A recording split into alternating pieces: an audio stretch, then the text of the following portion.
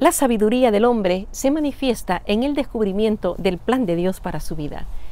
Imagínate, y de acuerdo a lo que dice San Mateo en el capítulo 25, versículos 14 en adelante, que Dios da a cada uno talentos de acuerdo a nuestras capacidades. ¿Te has preguntado cuáles de esas características, talentos que Dios te ha dado tú estás poniendo en práctica? ¿Cómo lo hemos desarrollado? ¿Cómo lo estamos poniendo a disposición de los demás? Es prudente que en el madurar de nuestra vida nosotros estemos conscientes que lo que Dios ha sido capaz de regalarnos, nosotros lo hayamos desarrollado de tal manera que esté dando abundantes frutos.